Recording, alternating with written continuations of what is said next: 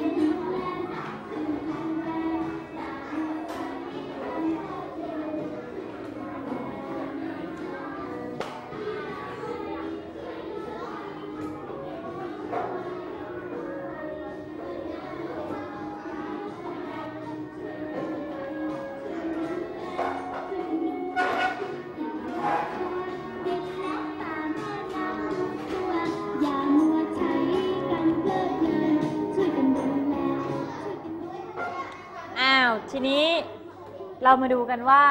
เครื่องหมายจราจร รู้จักเครื่องหมายจราจรไหมคะอ่าเพราะว่าในสัปดาห์ที่แล้วเนี่ยคุณครูก็ได้สอนในเรื่องของเครื่องหมายต่างๆ ที่จะมีเครื่องหมายจราจรอ่าบางอย่างสอนไปแล้ว แต่วันนี้เราจะมาเรียนเพิ่มเติมสำหรับป้ายที่เป็นเครื่องหมายจราจรโดยอ่าโดยตรงเลยนะคะ เครื่องหมายจราจรหมายถึงอะไร อ้าว อ่านค่ะเครื่องหมายจราจรคือสัญลักษณ์ที่ใช้ในการควบคุมการจราจรอ่าเครื่องหมายจราจรเป็นเครื่องหมายที่ใช้กำหนดให้ปฏิบัติหรือห้ามปฏิบัตินะคะ เพื่ออะไรก็คือเพื่อให้เกิดความปลอดภัยในการเดินทาง การใช้รถใช้ถนน หรือว่าการเดินทางบนถนนอะไรอย่างเงี้ยให้มันมีความปลอดภัยไม่ให้เกิดอุบัติเหตุ ซึ่งเครื่องหมายจราจรเราจะแบ่งได้ เป็นประเภทก็คือ 1 ประเภทที่1นะคะเครื่องหมายจราจรประเภทอะไรคะอ่าหนึ่งเครื่องหมายจราจรประเภทบังคับเอาหนึ่งเขียนลงไปค่ะ เครื่องหมายจราจรประเภทบังคับ ชื่อก็บอกอยู่แล้วใช่ไหมคะว่า เครื่องหมายจราจรประเภทบังคับเนี่ยอ่าก็คือบังคับหรือว่าให้เราเนี่ยต้องปฏิบัติตาม ซึ่งจำได้ไหมเอ่ยว่าป้ายเนี่ยมันจะมีหลาย ๆ สีเลย มีกี่สีคะจำได้ไหมคะที่ว่าพวกป้ายเตือนสัญลักษณ์เนี่ยเขาจะมีอยู่กี่สีสี่สีค่ะ มีสี แดง เหลือง เขียวแล้วก็น้ำเงิน ซึ่งสีแดงหมายถึงอะไรจำได้ไหมเอ่ย ให้ให้เราทำอะไรคะสีแดง ให้หยุดนะคะ หรือว่าเป็นข้อห้ามถ้าใช้สีแดง ส่วนสีเหลือง ป้ายที่มีสีเหลืองนี่เขาให้ทำอะไรคะ เตรียมตัวหรือว่าให้ระวังนั่นเองอ่าเป็นสิ่งที่บอกว่าให้ระวังหรือว่ามีสิ่งอันตรายอยู่นะคะ ต่อมา สีน้ำเงินให้ทำอะไรเอ่ย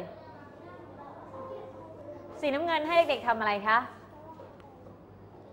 อ่าสีน้ำเงินก็คือบังคับให้ปฏิบัติตามนั่นเอง จะรุนเออจะจะจะดูแบบอ่อนกว่าสีแดงนะคะ สีน้ำเงินคือต้องปฏิบัติหรือว่าบังคับให้ปฏิบัติ ต่อมาสีสุดท้าย สีเขียว สีเขียวหมายถึงอะไรเอ่ย ให้ไป อันนั้นหมายถึงสัญญาณจราจรหรือเปล่าคะอะให้ไปแสดงว่าปลอดภัยหรือยังให้ไปได้ ปลอดภัยดังนั้นก็คือสีเขียวเนี่ยแสดงความปลอดภัยนะคะ บันทึกเสร็จหรือยังคะอ่าสำหรับในเรื่องเครื่องหมายจราจร ประเภทบังคับ เดี๋ยวเรามาดูตัวอย่างกันว่ามีป้ายอะไรบ้าง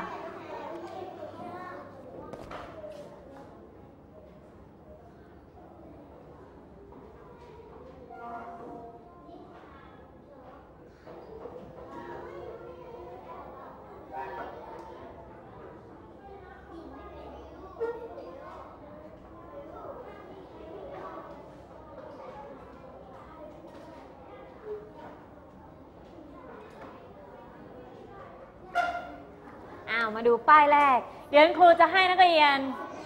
วาดป้ายจราจรประเภทละ 3 รูปอ่าป้ายแรก ป้ายอะไรเอ่ย ใครรู้บ้างอ่ามีไหมค์ไหน ใครรู้จักป้ายนี้ยกมือหน่อยค่ะอ้าวโซรถป้ายนี้คือป้ายอะไรคะให้วนรถให้วนรถ ยังไม่ถูกค่ะ แต่ใกล้เคียงให้วนรถ อะอะให้เอกสิทธิ์ตอบก่อน ป้ายอะไรไม่ย้อนสองป้ายย้อนสอนยังไม่ถูกค่ะ อ้าวแล้วทีพร ป้ายอะไรคะ ให้กับรถค่ะให้กลับรถยังไม่ถูกค่ะอ้าวมีใครรู้บ้าง จักรพัฒน์เออคุณครูจะส่งไมค์เวียนหัวแล้วค่ะ ให้รถย้อนสอน ให้รถย้อนสอนยังไม่ถูกค่ะ เฉลยดีไหมอ่าเฉแต่ แต่ก่อนที่จะเฉลย นักเรียนวาดสัญลักษณ์นี้ลงไปก่อนที่สมุดวาดเล็กๆ เท่าเหรียญบาทก็พออ่าเอาเหรียญบาทมาวงกลมก็ได้ วาดเล็กๆนะคะอ่าให้รถวนเหรอไม่น่าจะใช่นะ อาจจะใช่แต่ยังใช้ความหมายยังไม่ถูกค่ะอ่าเอาวาดสัญลักษณ์นี้ลงไปไม่ยากนะคะนักเรียน คุณครูก็วาดไม่สวยเหมือนกันอ่า คุณครูจะให้วาดอย่างละสามรูปแค่นั้นเองนะคะอ่าอันนี้อันแรกเลย ป้ายนี้ชื่อว่าป้ายอะไร ป้ายอะไรเอ่ย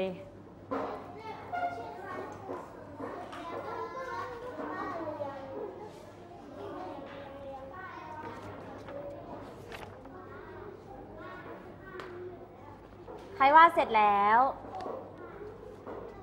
อ่าเดี๋ยวรอเพื่อนวาดก่อน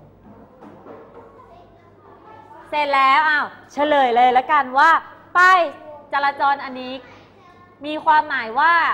อะไรคะป้ายวงเวียนป้ายวงเวียน เอาเขียนเครื่องหมาย เขียนชื่อกำกับไปด้วย ป้ายวงเวียนอ่าให้รถทุกชนิดจะติดตรงบริเวณถนนนะคะ ก็คือให้รถทุกชนิดเดินวนทางซ้ายของวงเวียน และรถที่เริ่มจะเข้าสู่ทาง ร่วมบริเวณวงเวียน ต้องหยุดให้สิทธิ์ แก่รถที่แล่นอยู่ในทางรอบวงเวียนไปก่อน ห้ามขับรถแทรกหรือตัดหน้ารถที่อยู่ในทางบริเวณวงเวียน หนูเคยเห็น หนูเคยเห็นป้ายวงเวียนนี้ไหมคะอ่าอยู่บริเวณทางทางตรงไหน ที่จะต้องเป็นวงเวียน ที่ลอดสะพานใช่เราต้องวนใช่ไหมคะอ่าที่อนุสาวรีย์ชัยรู้จักไหมคะ อ่าที่กรุงเทพอนุสาวรีย์ชัยทางเขาจะมีอนุสาวรีย์อยู่ตรงกลางใช่ไหมเอ่ย แล้วก็จะมีรถเนี่ยแล่นรอบอนุสาวรีย์ชัยใช่ไหมคะอ่านั้นก็คือเป็นวงเวียนให้รถแล่นเป็นวงเวียน ซึ่งแต่ละคันเนี่ยจะต้องแล่นตามเส้นทางของตัวเองไม่แทรกหรือว่าตัดหน้ากันนะคะอ้าวป้ายต่อมา นี่อันนี้เรียนมาแล้ว ป้ายอะไรเอ่ย ป้ายอะไรเอ่ย เอ๊ะเรียนหรือยังคะ ป้ายอะไรเอ่ยอาวาดลงไปก่อน ป้ายอะไรอาวาดลงไปก่อน เดี๋ยวจะมาเฉลยว่าป้ายอะไร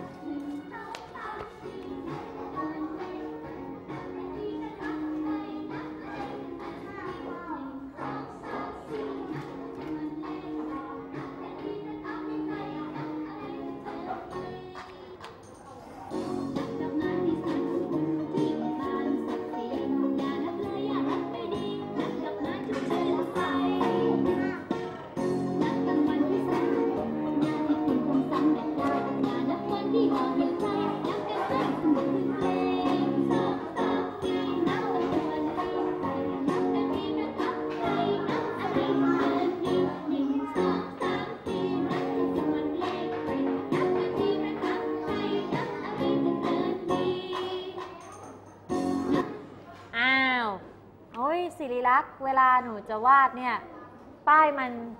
มันทับกันไปหมดแล้วค่ะ หนูต้องแยกให้เหมือนเพื่อนเนี่ยแยกออกมา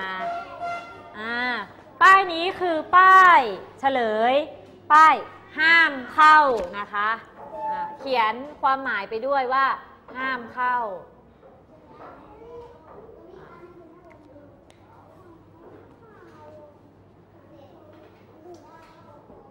เขียนต่อลงมาข้างล่างเลยค่ะ ราะว่าเดี๋ยวนักเรียนงงอะถ้ามีที่พอก็เขียนข้างๆ และเขียนความหมายไว้ด้วย ป้ายห้ามเข้านี้นะคะ มีความหมายว่าห้ามไม่ให้รถทุกชนิด เข้าไปในที่ที่เขาติดตั้งป้าย เคยเห็นไหมเอ่ยป้ายนี้ เห็นที่ไหนคะพงสุนทร ห้างสรรพสินค้าอ๋อเจอตอนนี้ที่ห้างสรรพสินค้าที่หัวหินเขากำลังก่อสร้างใช่ไหมเอ่ยอ๋อแล้วเขาก็จะมีป้ายนี้ติดอยู่แสดงว่า ห้ามเข้าไปในเขตก่อสร้าง เรียบร้อยยังเอ่ย ขอไปเดินดูหน่อยเอาวงเวียนอยู่เลยค่ะสมพงษ์อ่าเก่งมาก เรียบร้อยด้วยจิตพานุไม่ใช่สินภัสจะพอไหม่เอ่ยอ้าวต่อมารูปต่อมา วาดรูปเล็ก ๆ ก็พอค่ะนักเรียนอย่าวาดใหญ่เปลืองหน้ากระดาษนะคะ อ้าวต่อมาป้ายนี้ ป้ายเลย ชื่อบอกอยู่แล้วว่าป้ายอ่าวาดลงไปเป็นสามเหลี่ยมแล้วทีนี้ เอ๊ป้ายนี้เป็นรูปเป็นรูปสามเหลี่ยม กี่มิติคะอ่าเรียเรียนมาแล้วคณิตศาสตร์ กี่มิติเอ่ย สามเหลี่ยมอันนี้กี่มิติ ใครว่าสามมิติ ใครว่าสองมิติสองมิตินะคะเพราะมันเป็นรูปสามเหลี่ยม อ่าป้ายนี้ชื่อว่าป้ายให้ทาง อ่าเดี๋ยวครูวาดให้ดูก่อนง่ายมากค่ะนักเรียน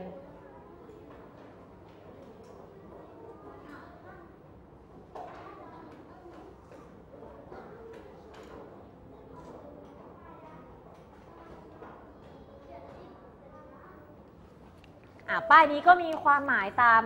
ตัวหนังสือข้างในนั้นก็เลยก็คือ ให้รถทุกชนิดต้องระมัดระวังและให้ทางแก่รถ หรือคนเดินเท้าในทางขวางหน้านะคะ ให้ผ่านไปก่อน เมื่อเห็นว่าปลอดภัยและไม่เป็นการกีดขวางการจราจรที่บริเวณทางแยกนั้นแล้วเนี่ยจึงให้อ่าเคลื่อนรถต่อไปด้วยความระมัดระวัง ป้ายนี้เขาอาจจะ ติดในบริเวณทางแยกที่ไม่มีสัญญาณจราจร โดยที่คนขับรถ ไม่ว่าจะเป็นผู้ปกครองของนักเรียน ขับรถถ้าเจอป้ายให้ทางนี้เนี่ยควรจะชะลอดูทางแยกก่อนนะคะ ไม่ใช่ว่าพอถึงทางแยกปุ๊บก็เร่งรถไปเลยอย่างเงี้ยเดี๋ยวรถที่มาอีกทางนึงเนี่ยเขาเบรกไม่ทันอะไรอย่างเงี้ยอาจจะเกิดอุบัติเหตุขึ้นได้นะคะอ่าถ้าเจอป้ายนี้ก็คือให้ทาง หรือว่าให้รถคันอื่นเนี่ยไปก่อนจนกว่าจะปลอดภัยเราถึงจะไปต่อได้นะคะอ้าวต่อมาป้ายที่เหลือไม่ต้องวาดแล้ว เดี๋ยวป้ายอื่น เดี๋ยวครูจะบอกอีกทีว่าจะให้วาดอันไหน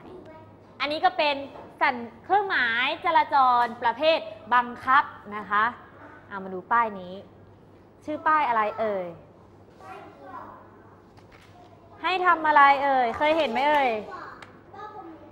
ป้ายนี้ชื่อป้ายว่าอะไรคะให้ชิดซ้ายอ่านว่าให้ให้ชิดซ้ายอ่า ให้ชิดซ้าย ความหมายก็คือ ให้ขับรถผ่านไปทางซ้ายนะคะอ่าต่อมา ตัวอย่างป้ายนี้คือป้ายอะไรเอ่ย ป้ายขึ้นลง ป้ายนี้ชื่อป้ายว่า ให้รถให้รถสวนทางมาก่อน อ่าป้ายนี้ก็คือให้คนขับรถทุกชนิด หยุดรถตรงป้ายนะคะ เพื่อให้รถที่กำลังแล่นส่วนทางมาเนี่ยให้ไปก่อนอพอรถส่วนทางไปหมดแล้วเราถึงจะไปต่อได้นะคะ ก็คืออหยุดให้รถที่ส่วนทางไปก่อน ต่อมานี่ป้ายอะไรเอ่ยห้ามตรง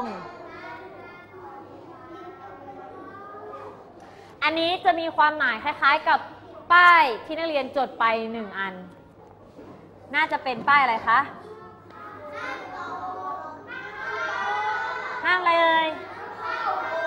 เก่งมาก ป้ายนี้คือป้ายห้ามเข้านะคะ ก็คือห้ามรถทุกชนิดเข้าไปในที่ที่ติดตั้งป้ายนั่นเอง อ้าวต่อมา ป้ายนี้ อุ้ยเก่งมากเลยอะ่ะ ป้ายนี้คือป้าย ห้ามแซงนั่นเองนะคะ ก็คือห้ามไม่ให้ขับรถแซงขึ้นหน้ารถคันอื่นในเขตทางที่ติดตั้งป้าย ซึ่งป้ายห้ามแซงเนี้ยจะติดบริเวณใกล้ ๆ กับทางโค้ง เพราะว่าถ้าแซงทางโค้งแล้วจะเกิดอะไรขึ้น อันตรายเพราะเรามองเห็นรถไหมคะ มันเป็นทางโค้งอะ่ะ มันมองไม่เห็นแต่ว่าถ้าเราไปแซงไปเนี่ยรถมันก็จะสวนมาอย่างเงี้ยก็อาจจะเกิดอุบัติเหตุได้ อันนี้ไม่ใช่เรื่องไกลตัวนักเรียนเลยนะคะ เป็นสิ่งที่เราเห็นในชีวิตประจำวันตลอดเวลาเลย แต่เราไม่ได้สังเกต ซึ่งเราเรียนวันนี้แล้วเนี่ยเราต้องนำไปปฏิบัติด้วยนะคะอ่าต่อมาป้ายอะไรเอ่ยห้ามรถอะไรคะห้ามจอดรถห้ามจอดรถอ้าวห้ามอะไรเอ่ยห้ามจอดรถอ่ารถอะไรห้ามอะไรคะห้ามรถยนต์ ก็คือห้ามรถยนต์ทุกชนิด ผ่านเข้าไปในเขตทางที่ติดป้ายนั่นเอง เอาต่อมา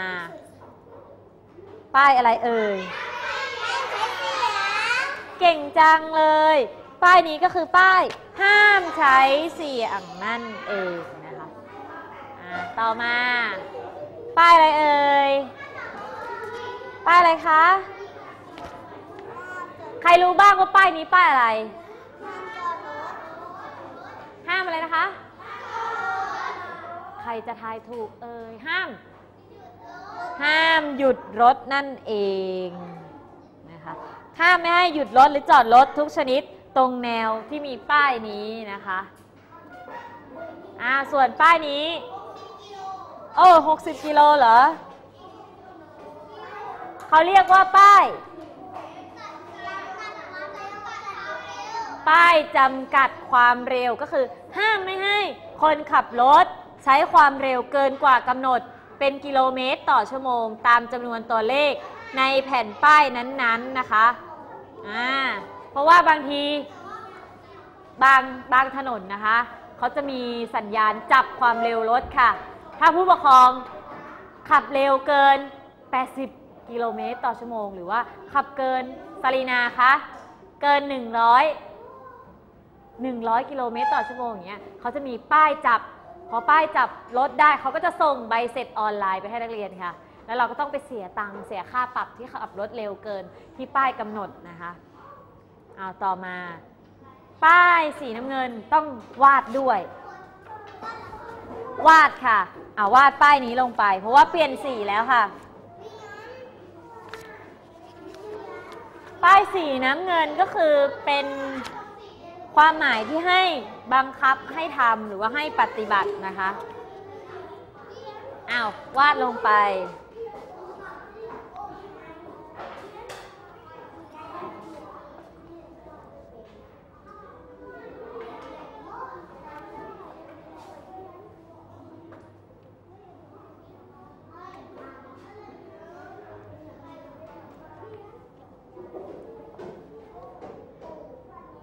นี้ระหว่างที่วาดนึกไปด้วยว่ามันคือป้ายอะไร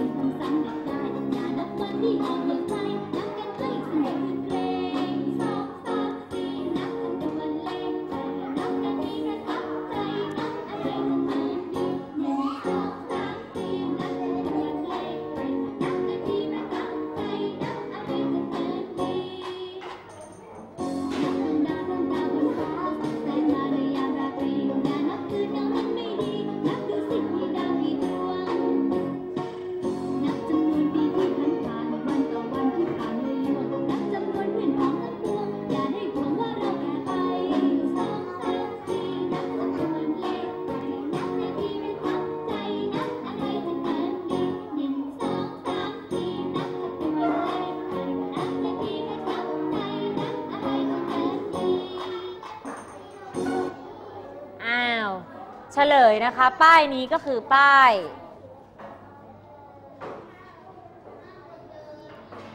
เฉพาะคนเดินนะคะ ก็คือบริเวณที่ติดตั้งป้ายนี้เนี่ยเป็นบริเวณที่กำหนดให้ใช้เฉพาะคนเดินเท่านั้นนะคะ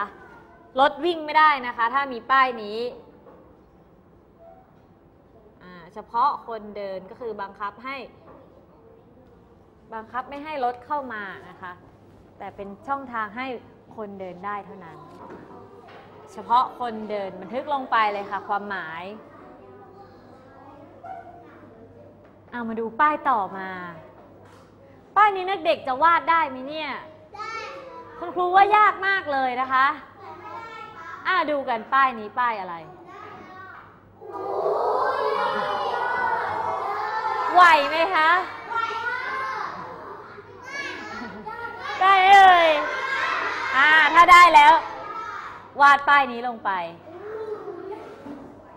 เอาให้เวลาวาด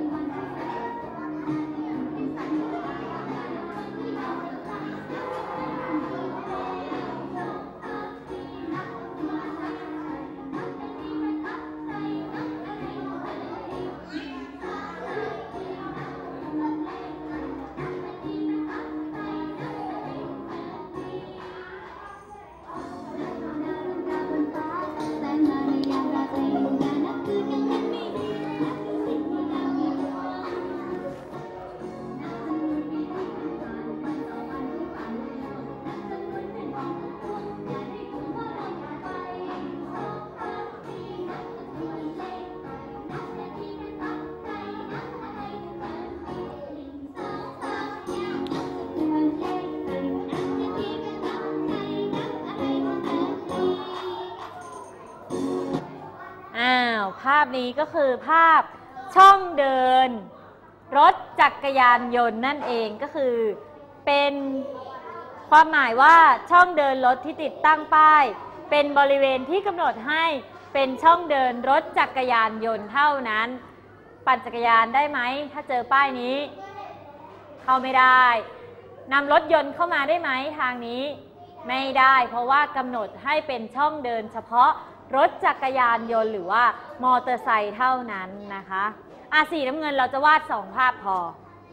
อะป้ายนี้เรียนเขียนความหมายไปด้วยว่า ช่องเดินรถจักรยานยนต์นะคะอะทีนี้มาดูเฉยๆกัน บนกระดานมีค่ะ